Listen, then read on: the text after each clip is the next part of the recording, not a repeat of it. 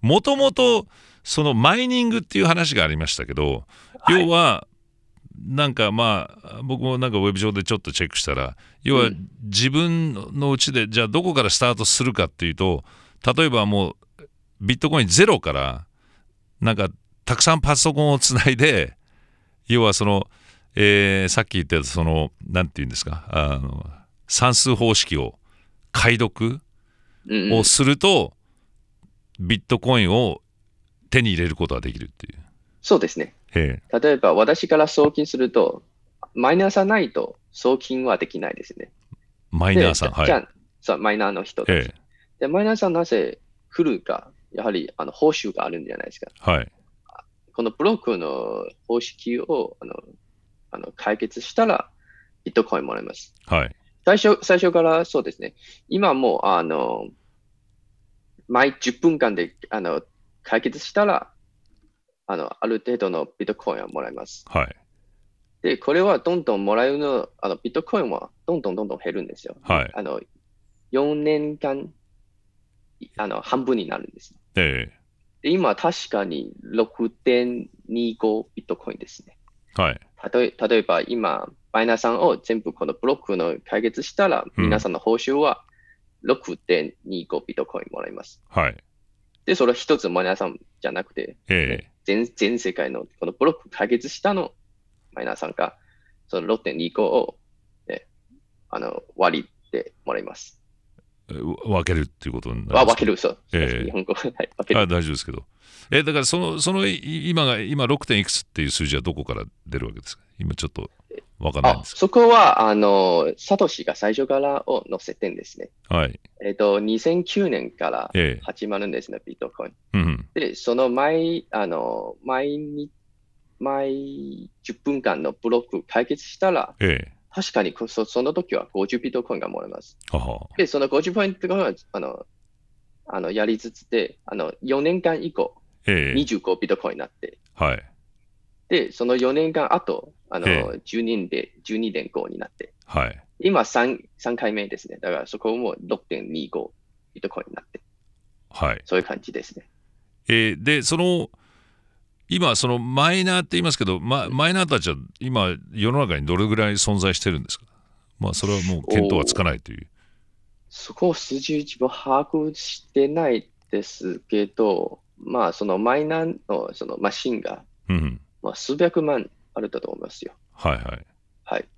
で、まあ、じゃあ自分は、じゃあそのビットコインをマイニングしようと、今考えた場合に、それは可能なんでしょうか？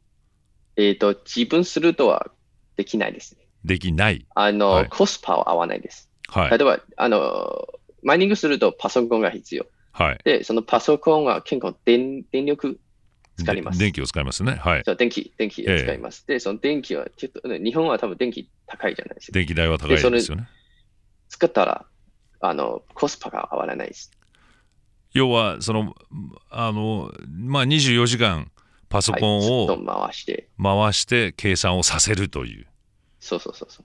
それで24時間経って、その電気代と、えーどれだけ。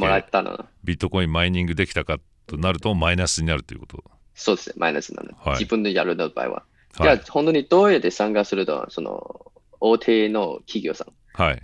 あの、例えばビあの大、大きなビットコインマイニングの企業さんに、はい。あの、参加して、えで、それはしかできないですね、今は。ーなるほど。そうすると、コスパもあの自分すると合わないですね。はいはいはい。なるほど。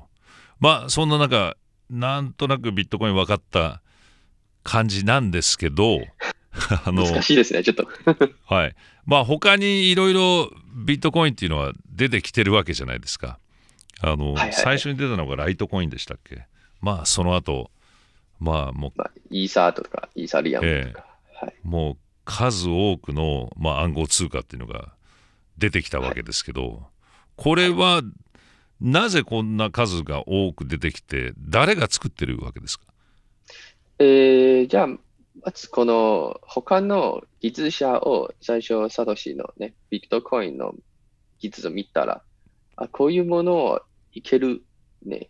で、こういうものはどこに技術が使われるで、で、あの、他のコインと他のブロックチェーンを作りましたね。はい。で、もう一個、あの、大きいのはイーサリアムとええいう、イサリアムってありますね。はいコインで。すね。で、そのコインも同じくブロック使ってますし、はい。えっ、と、マイニングもしてますけど、あの、実際、まあ話すると本当に長いなんですけど、えじゃあなぜ今たくさんのコインが出るのは、ええ多分おかげで、あの、イーサリアムのおかげです。イーサリアムは、あの、ある、ある、あの、スマートコンコントラクト、ええスマートコントラクトええがある仕組みがありますので、はい。で、そこは、えっ、と、他の技術者がそんなに自分のブロックを、ブロックチェーンを使わずに、ええそのままイーサリアムのブロックチェーンを使って、はい新しいコインを作ることがでできます。ほうほうほうほだからそこで、えっ、と、今もう数千のコインドが、実はイーサリアムの下のコインドになりう。ます。あ、じゃあ、ビットコインの今のブロックチェーンシステムを使って、他のコインを、えー作るっていうことはできないわけですか？できないですね。はい。今、じゃあ、今、現時点では、そのイサリアムの下はい。に他のビットコインがいっぱいあると。えそうです。そのほぼは、そう、多いですね。でもちろん他の、あの、新しい出てるの、あの、ブロックチェーンもありますけど、はい。まあ、その話すとちょっとね、長いなので、はい。まあ、基本的にはお大きく分かれて、じゃあ、ビットコインとイサリアム。に大きく分かれるという感じなんでしょうか。はい。で、やはり2017年の時に、え結構日本、また他の世界中で、ね、なんか ICO、ICO で、あの、聞いたことあるんじゃないですえ。か。はい。で、そこで皆さんを参加投資したりとかね、ええ。全部イーサリアムの下のコインなんですよ。ほう。なるほど。まあでもそこは、あの、結構、あの、悪いの方面でいたんですね。はい。インチ、インチ系のコインとかね。ねうん。で、そのたくさん出たんで、出てます。はい。みんなその、インチキってことですか？嘘の。インインチキ、そう。はい。あの、嘘、嘘の方で。はい。そそれを出て、で、ええみんな、あの、ICO はな資金調達のためです。ICO という。で、はいはい。その、出て、で、あの、資金調達あだとで、そのプロジェクトの案件の人を逃げるたりとか、ええたくさん出てました。はあはあはあははあ。なるほど。あのというわけで、今、まあ、ビットコインが最初にスタートした時には、えー1ビットコインがもう1ドルもしなかったっていうのが、まあ十何年前の話で。まあ何年か前に、えー2000ドルまでいや2万ドル。2万ドルまで一時期上がりましたけど、まあ今はなんとかえ今9000ドルぐらい今日、そう、今日はいくらですかね。今日は9000、400とか9300、そう、9400くらいです。にあの定着していますけどまあちいさんは今後このビットコインっていうのは未来はあると思っていらっしゃるわけですか？そうですね。長期的な時間見ると、あの、ええ長期的にというのは5年、10年間くらいですね。はい見ると、あの、あります。はい。それ理由は、あの、ビットコインは本質は、あの、最大のビットコイン数は2100万しかないんですよ。はい。で、そこは、ね、どんどん人が、たくさんの人はもっとビットコイン増や、あの、知ったら、その、ね、supply and needs はい。が、あの、合わせるので、ええ。だから価格を見ると、需要と供給ですかね？がそうですね。あるということではい。はい、あのそのよく言われるビットコインはある程度の数字まで上がるともうそれ以上作れないってよく言うじゃないですか、はい、それが僕ちょっと意味がわからないんですけどお最初はサトシが、その、ビットコインは2100万しかないよという設定がありました。えで、マイニングは、ね、毎日10分間、今6.25ビットコインマイニングするんじゃないですか。えはいあの、毎10分間。で、その2140何年の時にええ。全部のビットコインマイニングされました。だからほ今の今の計算でいくと2100そう、40何年、ろ46年です、はい。それは要はサトシ仲本がはい。自分で指定したそうですね。額なんですか？そうです。なるほど。別に誰が決めたのではなくこのサトシが決めたはい。ことでこれはななぜそういうなんか決めたんでしょうか？あ彼が、あの、もし、あの、一定の数字設定したら、ね、さっきの補給の、あの、 demand and supply がはいあるんじゃないですか。需要と供給はいそう、需要と供給。需要と供給？はい需要と供給。はい。はいそれがあったら、えだ価格が安定に上昇するって信じてますので、えはいそこで一定の価格を決めるんですね。はいはい。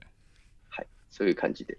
まあで決まっているということではい。ええそれを今後あのまあそのもしサトシ仲本が作ったとしたら後でまああの自分で増やそうということはもう一旦仕組んだからにはもうできないそうですね。それを動かすことはできないというかそうですね。もう動くできてますし、で、そこ今、ブロックチェーンもね、長く、あの、な成立してますので、はいあの変更することができないです。あもう変更することができないはい。ということなんですかなるほどはいわかりましたとりあえずまあいろいろ考えることがあるのではい。今日はここまでということでまたパート難しいの話。2ちいさんにいろいろお話ししたいと思いますけどはい。はいえー、なんとなく分かったような分かんないような。はい。というわけで、えー今日はとりあえずありがとうございました。また、はい。じゃあパート2の方でもちょっといろいろ質問を考えてまたちいさんにぶつけたいと思います。わかりました。はい。では今日はありがとうございました。ますまた次回よろしくお願いします